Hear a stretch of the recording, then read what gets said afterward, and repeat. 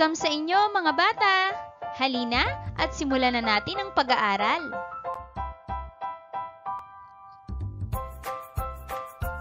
Magandang araw mga bata! Kamusta kayong muli?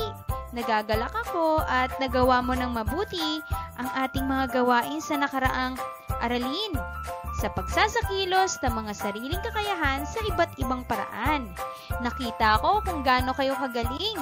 Ngayon naman, aaralin natin ang ating bagong aralin.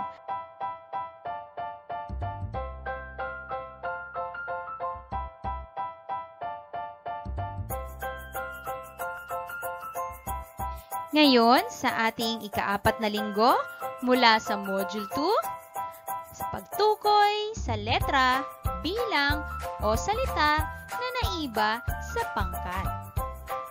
Handa na ba kayo sa ating bagong aralin?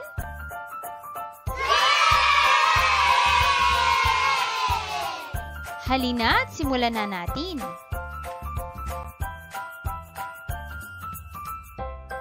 Ngayong araw, subukin natin na makilala ang mga letra, bilang o salita na naiiba sa pangkat.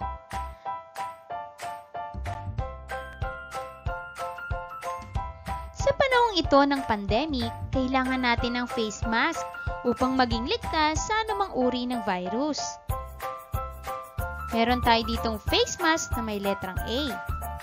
Face mask na may bilang isa. Face mask na may salitang apa. Meron din sa kabilang hanay. Face mask na may salitang apa. Face mask na may letrang A. Face mask na may bilang isa. Ngayon naman, lagyan natin ng guhit ang face mask na may magkatulad na letra, bilang o salita na nakasulat. Sagutin natin ang face mask na may letrang A. Mahusay. Face mask na may bilang isa. Mahusay. Face mask na may apa.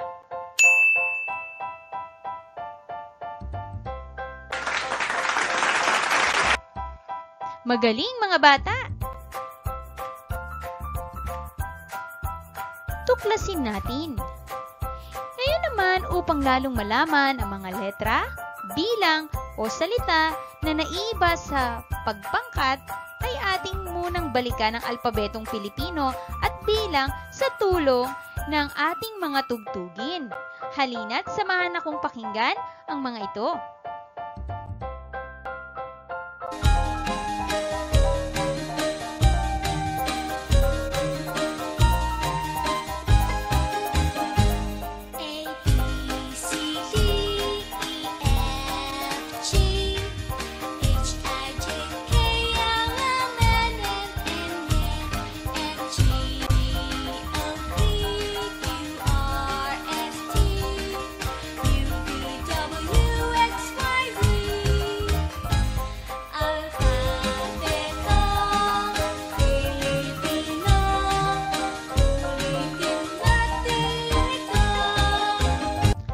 Magaling magabata sa pag-awit.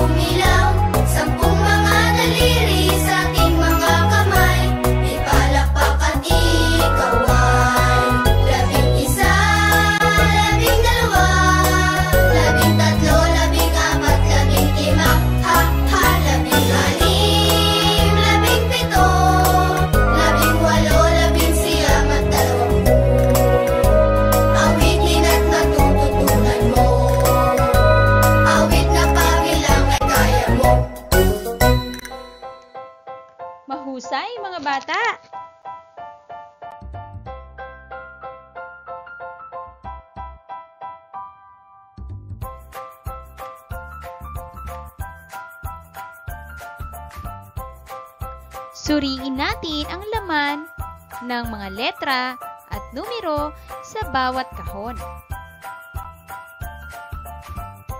Ano ang napansin nyo sa laman ng letra ng bawat kahon?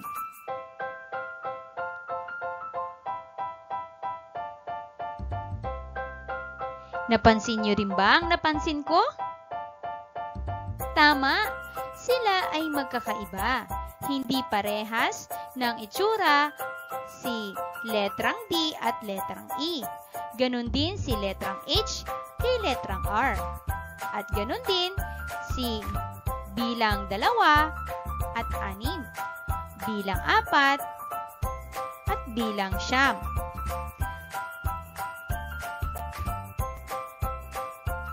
Ngayon, bilugan mo ang mga letra na naiiba sa bawat kahon. Unang kahon, B, B, C. Pangalawang kahon, R, G, G. Pangatlong kahon, dalawa, anim, dalawa. Pang-apat na kahon, siyam, isa, isa. Subukan nating sagutin. Sa unang kahon, mahusay. Sa pangalawang kahon, nakita mo rin ba ang naiiba?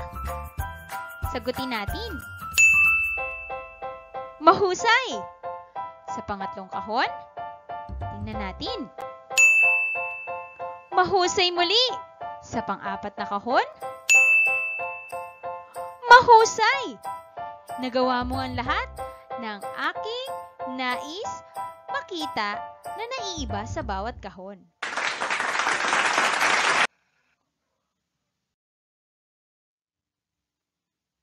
Pagyamanin pa natin ang inyong kaalaman mga bata.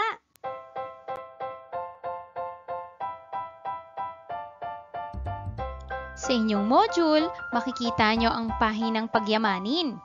Maari mo bang lagyan ng check ang larawan na may letra, bilang o salita na naiba sa pangkat sa tulong ng iyong magulang? Alam kong kayang-kaya mo to. Sa ating pagsasanay kanina, dapat nating isaisip na malaman natin ang alpabeto at pagbilang upang matukoy natin ang letra, bilang o salita na naiiba sa pangkat. Isagawa natin ang ilan pa sa mga pahina sa ating module. Sa inyong module muli sa isagawa. Good job, mga bata! Ipinakita ninyo ang inyong kahusayan sa pagkilala ng mga letra o bilang. Ngayon, bilugan ang tamang letra sa mga larawan na may naiiba sa pangkat sa tulong ng iyong magulang o guardian. Gawin natin ito. Ngayong araw, natutunan natin ang pagtukoy sa letra, bilang o salita na naiiba sa pagpangkat. Ipagpatuloy ang pagsasanay. Gawin ito sa loob ng inyong tahanan. Dahil sa galing na iyong ipinakita ngayong araw, para sa iyo ang star na ito.